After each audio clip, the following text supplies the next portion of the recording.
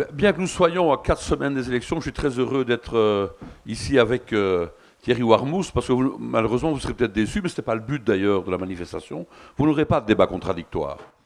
Je vais essayer d'être complémentaire parce que je partage, et le programme du PS d'ailleurs partage, il y a un programme agricole très large, partage l'essentiel euh, de ce que tu as dit.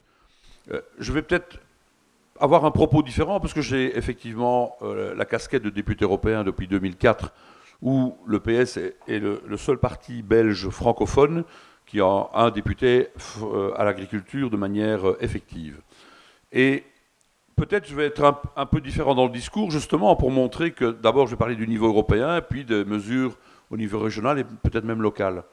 Au niveau européen, moi je suis quelqu'un de déçu par la politique agricole commune aujourd'hui. Ça ne veut pas dire qu'il n'y a pas d'espoir, mais depuis 15 ans, il y a une dérive qui a commencé bien avant, et sans faire d'historique, ce n'est pas le but de faire l'historique de, la PAC, et ce n'est pas ma prétention aujourd'hui, mais c'est que par rapport euh, notamment aux aides telles qu'elles sont distribuées, ben, il y a plusieurs problèmes qui se font, euh, qui sont concomitants et qui évoluent et qui aujourd'hui menacent clairement l'agriculture. Ça me rappelle des mots euh, qui avaient été écrits par Edgar Pisani dans son bouquin Le vieil homme et la terre, qui disait que les sociétés modernes finalement déconsidéraient et méprisaient les métiers dont elles a le plus besoin. Enseignants, médecins et agriculteurs. Je pense que c'est vrai, fondamentalement vrai. Mais aussi, notamment puisqu'on parle d'agriculture aujourd'hui, dans le revenu. Donc le fait d'avoir découplé les aides à une époque, je ne refais pas l'historique de la PAC, mais la PAC aidait l'agriculture parce qu'on a vécu une période de famine euh, au niveau du conflit mondial. Quand la PAC est créée, elle veut avoir plusieurs buts. C'est de produire une nourriture en suffisance, de qualité, pour les citoyens européens, et en, ayant, en procurant de manière accessible, donc nourriture en suffisance, de qualité, à un prix abordable, en assurant un revenu aux agriculteurs. Et aujourd'hui, ce quatrième point est vraiment problématique. Pourquoi? Parce que à une époque où la PAC a peut-être dérivé, elle a payé une production qu'on laissait dériver, et il y avait des surproductions, et finalement qu'on devait détruire ou vendre à vil prix parce qu'on l'avait payé, on l'avait subsidié. Et à une époque, les chiffres que Philippe Barret donnait tout à l'heure, 38%, 40% du budget, à une époque, c'était 75% du budget européen dévolu à l'agriculture. Je parle du début des années 80. Et 75% des dépenses agricoles, c'était des dépenses de marché, pour payer une production qu'on a laissé dériver. Et puis il y a eu les quotas, qui ont permis d'éviter de, de, grandes crises et qui ont permis de réguler les quantités et les prix. Je ne rentre pas dans le détail, parfois ils ont été peut-être un peu rigides, mais que ce soit dans le lait, dans le sucre, dans une série de productions, il y a eu une régulation de la production, un prix assez correct, en tout cas pas de grosse crise. On sait que les, cours en agriculture, en fonction des aléas et climatiques et du marché, oui, ça existe toujours, bah, il peut y avoir une, courbe de, de, prix. Mais jamais de grosse crise comme celle dont vous avez vu l'image, même si elle était dans le brouillard, c'était octobre 89, où des fermiers décide, des producteurs de lait décident de vider 4 millions de litres de lait sur des champs à Ciné, au cœur du Condro.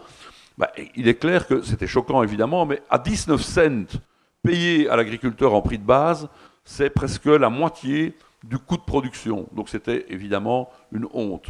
Oui, mais le problème, c'est qu'on continue tout le temps de la même manière aujourd'hui. On a beau dire cela. Rétablissons des quotas.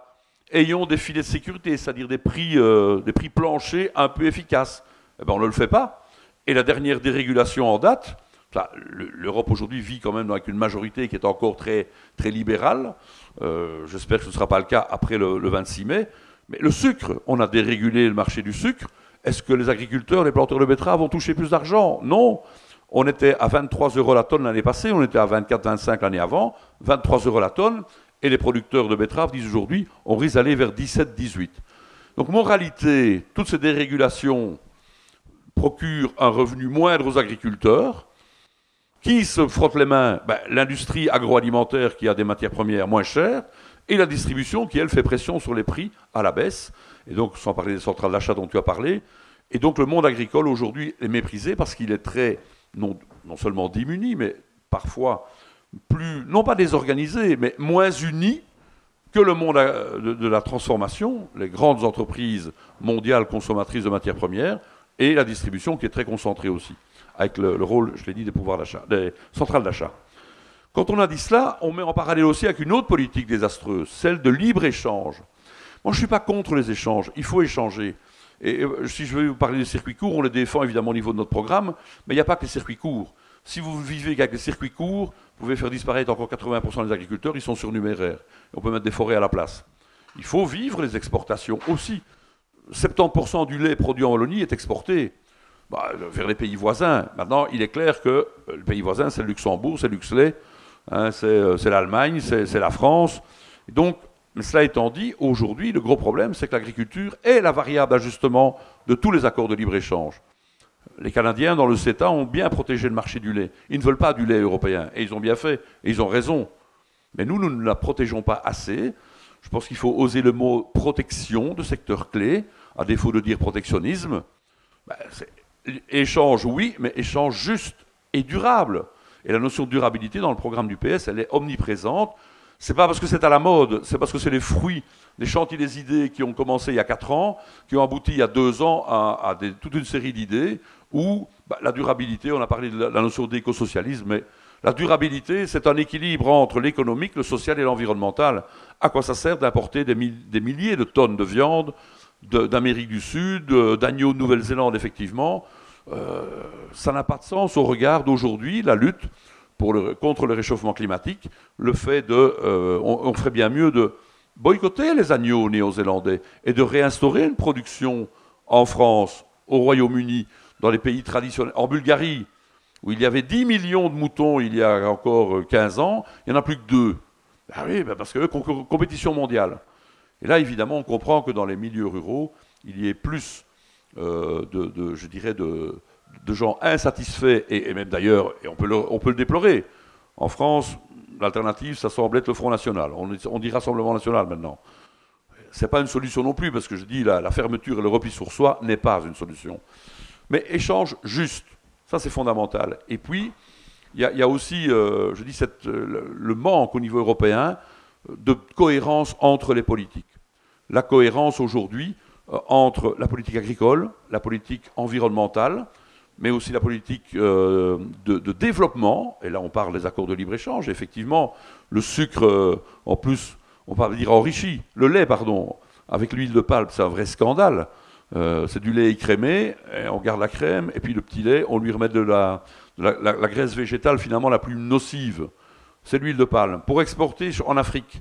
Et quand le commissaire Hogan, ultralibéral, dit c'est pas grave, les marchés, le prix diminue, mais ça va remonter, et il faut trouver d'autres marchés. Mais d'autres marchés, c'est l'Afrique qu'on va continuer à servir, ou d'une main, on n'est pas cohérent, puisque d'une main, on les aide par la politique de développement à avoir des coopératives de production laitière, notamment dans l'Afrique de l'Ouest, et de l'autre main, par l'exportation de lait, ben, les multinationales telles que Arla, Nestlé, euh, Lactalis, que vous connaissez mieux sous le nom de président, euh, ben, construisent euh, des tours de séchage et importent du lait en poudre massivement en Afrique. Là, on a un vrai problème, à tel point que, et je termine le chapitre européen, J'étais un de ceux qui a demandé de voter contre la réforme de la PAC, parce que depuis 15 ans, j'en ai ras-le-bol, vraiment ras-le-bol, que tous les 5 ans, quand on commence une législature, on nous demande de faire une réforme de la PAC. Ça n'est pas cohérent avec l'horizon agricole qui souffre d'un énorme problème, c'est le manque de jeunes en agriculture, qui sont découragés de prendre le métier ou de reprendre le métier de leurs parents parce qu'il n'y a plus de perspective à long terme et que le métier est devenu difficile parce qu'il n'y a pas de perspective de revenus, il n'y a pas de, stabilité et de ligne, de ligne directrice à long terme, comme il y en avait quand même dans, le passé, encore récent. Aujourd'hui, faire des réformes tous les cinq ans, ça n'a pas de sens, car quand un jeune veut reprendre, et en parenthèse, le chiffre, c'est alarmiste, 6%, hein, 5 maintenant, des agriculteurs européens ont moins de 35 ans plus de 70% ont plus de 55 ans et ne savent pas, pour la plupart d'entre eux, à qui ils vont remettre leur exploitation. C'est un vrai problème. Et donc, aujourd'hui, ben, le fait de pouvoir avoir des aides différenciées qui permettent aux jeunes, et on le fait à la marge avec 2%, c'est pas suffisant, 2% minimum de l'enveloppe nationale qui peut dire quand un jeune reprend, on l'aide plus. L'accès au foncier, on en a parlé, mais l'aide à l'hectare telle qu'elle est distribuée aujourd'hui ne répond plus à l'agriculture, aux besoins de l'agriculture familiale à taille humaine telle qu'on la connaît en Wallonie et telle qu'on voudrait la perpétuer. Aujourd'hui, elle est en danger, car l'accès au foncier est devenu difficile, compliqué, à la fois parce que des grandes entreprises guettent les terres qui sont remises, car le nombre de fermiers, d'agriculteurs et d'agricultrices s'érode on disait de moitié tous les 20 ans. Aujourd'hui, c'est plus que diminuer de moitié tous les 20 ans. Et, aujourd'hui, le problème, c'est que la, reprise des terres par des grandes sociétés, car la surface agricole utilisée diminue très peu. Hein. Je sais qu'on parle des zonings et des maisons, mais il faut dire aussi que dans la réalité des faits, quand un agriculteur a terminé carrière, il est bien content aussi de valoriser les quelques terrains qui sont le long d'une route. On peut déplorer la construction le long des routes, mais lui, c'est peut-être un complément de retraite qui est quand même pas énorme, en vendant et en lotissant les terrains à bâtir qu'il a peut-être exploité, mais si personne ne les reprend, ben lui, c'est un complément de pension. Et les zonings, ça existe aussi. Moi, je ne suis pas un pourfendeur de l'activité économique, il en faudrait bien plus en Wallonie. Et donc, à un moment donné, ben, on les prend là où les zones sont intéressantes, c'est souvent au bord des autoroutes, où il y a les zones agricoles. Mais sachez qu'il faut dire un chiffre, il y a 900 000 hectares en Wallonie, euh, l'agriculture c'est 900 000 hectares. Et la reprise pour euh, zoning et habitation, on est à 1500, euh, 2000 hectares par an de mémoire.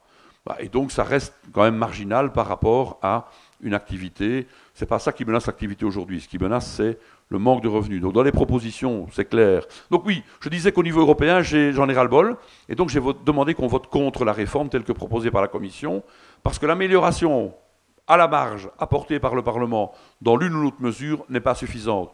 Il faut changer de cap, changer de paradigme. C'est ce qu'on défend au niveau de notre programme. Et je peux dire là-dessus, effectivement, qu'on n'est pas contradictoire, on est complémentaire. J'espère que tu, enfin tu, c'est Botenga qui sera élu à l'Europe. Euh, pourquoi? Ben Parce qu'avec des gens comme ça, et des gens de bonne volonté de tous les groupes politiques, euh, surtout des Verts, des socialistes et démocrates, euh, des progressistes, mais il y en a aussi au sein des partis qui sont réputés plus traditionnellement conservateurs, au sein de certains populistes comestibles avec qui on peut travailler. Je pense aux Cinque Stelle italiens.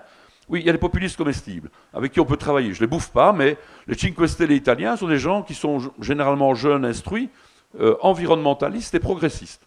Et donc, euh, ben voilà, je ne souhaite pas qu'il y ait une nuée de, gens. Euh, les extrémistes, c'est difficile de travailler avec eux. Hein. Bon, parfois leur vote, la manière de voter peut-être euh, va dans notre sens, mais ce n'est pas du tout pour les mêmes raisons. Et donc, clairement, aujourd'hui, la structure familiale est en danger. L'accaparement des terres, ça existe chez nous aussi. Donc, l'aide à l'agriculteur actif, il faudra quand même essayer d'y arriver, que ce soit au niveau européen ou au niveau des pays. Parce qu'aujourd'hui, moi, dans, ma région du Condro liégeois, ben, il y a énormément de, propriétaires qui reprennent leurs terres. Ben, on peut les comprendre, ils ont envie de, faire de l'argent avec leurs terres, hein, euh, mais, c'est au détriment de la vraie agriculture. Aujourd'hui, qu'est-ce qu'ils font? Ils s'instituent via une formation agriculteur à titre principal. Ils n'ont pas de tracteur, rien du tout, n'ont jamais vu une vache de près, mais ils prennent les terres, ils proméritent les aides européennes, parce qu'ils sont propriétaires et agriculteurs, à titre principal, et puis ils, euh, cèdent leurs terres en location à, des gens qui viennent avec des grosses machines et qui plantent peut-être des pommes de terre. Euh, pas que, hein. mais les pommes de terre, c'est un phénomène aussi particulier. Tu as étudié la filière pommes de terre. Il faut que je lise ce document parce que je n'ai pas encore eu le temps de le lire. Mais bon, c'est parfois 300-400 hectares dans un, dans un environnement très restreint qui sont transformés. Hop, c'est de la pomme de terre. Et puis on stocke et puis on produit, je ne sais pas, quelques milliers de tonnes et pour l'exportation essentiellement. Donc là, attention à ce modèle qui est en train de dériver. Euh, et donc là, on essaye au niveau du programme, nous, de, de prévoir la, définition de l'agriculteur actif, à qui vont les aides réellement, à ceux qui travaillent, les distribuer d'une manière différente en tenant compte de l'intensité de main-d'œuvre et de la, du degré de durabilité de l'exploitation.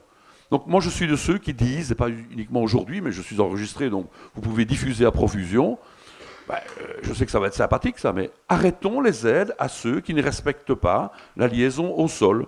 La production intensive ne mérite plus d'aide européenne elle contrevient. Quand on, moi, ça m'ennuie qu'on critique euh, l'élevage. L'élevage intensif, oui, on doit le critiquer. Mais quelqu'un qui a 20 vaches, 30 vaches sur 20 euh, hectares, ben, lui, il gère en respectant la liaison au sol. C'est pas lui qui pollue la planète. Je, dois dire aussi que je, on doit consommer la viande de manière plus raisonnable, c'est vrai. Mais euh, il faut laisser la liberté à chacun de consommer ce qu'il veut ayons des productions de qualité, nous les avons, il faut les valoriser. Mais clairement, aujourd'hui, agriculture liée au sol, sinon pas de subside. Parce que cohérence. Quelqu'un qui a 2000 euh, ou 3000 porcs dans une grande étable, euh, sur 40 euh, hectares, ben, il a besoin de combien de centaines d'hectares pour répandre ses effluents d'élevage. Si tout le monde fait ça, la Flandre fait ça. Mais elle regorge sous le purin et les effluves d'élevage de poulets. Et de poules. Et donc ils doivent les importer, soit les importer en Wallonie ou en France. Ou... Donc l'agriculture intensive n'a pas de sens. Parce que si vous n'avez pas des voisins complaisants qui prennent euh, vos effluves d'élevage, vous n'êtes pas durable. Mais en plus, elle n'a pas de sens parce qu'elle est, euh, n'est orientée que sur les exportations. Et aussi, ben, en termes d'environnemental, c'est catastrophique. Voilà pourquoi je suis assez euh, fier de pouvoir défendre une position qui est très progressiste et que le PS est probablement un des partis européens dans ma famille politique qui est les plus progressistes sur cette question. Et d'ailleurs, c'est vraiment qu'il dit, mais il y a des, ONG environnementales qui ont fait l'analyse des votes, du degré environnemental des votes au Parlement européen. Alors, champion de toute catégorie, je lui fais de la pub, vous lui transmettrez Philippe Lambert, écolo, 96% de votes favorables. Nous, les trois PS francophones, 93. C'est pas mal quand même. Et puis arrive après euh, l'écologiste néerlandophone Bart Stas, 90. Quand on fait la moyenne de Bart et de Philippe, hop, ça fait 93, comme nous. Et puis il y a le MR, je pense, qui fait 60. Et puis après, on tire l'échelle et en dessous, on a le Vlaams Belang et la NVA avec 10-15% de votes favorables à la durabilité et à l'environnement. Et donc, je dis ça parce que nous sommes effectivement dans un débat euh, qui essaye de faire progresser bah, ces idées.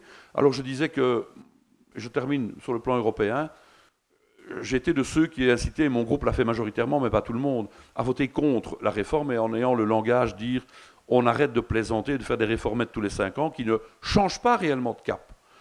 Et on a perdu, mais la PAC n'a pas été votée en plénière de ce Parlement, ce sera le prochain qui va s'en occuper. Mais la réforme telle que voulue par Hogan, et je n'ai pas eu le temps de parler de tous les détails, mais c'était euh, quelque chose qui ne me plaisait pas du tout. C'est une renationalisation de la PAC, c'est un manque de stratégie à long terme, c'est une juxtaposition finalement d'égoïsme, parce qu'il n'y a pas que le commissaire, il y a aussi les États membres, qui aujourd'hui ont difficile de se mettre d'accord sur une vraie stratégie, qui soit un peu à la manière, excusez-moi, je termine en citant Donald Trump, ça n'arrive pas souvent. Mais quand il dit America First, il n'a pas tout à fait tort.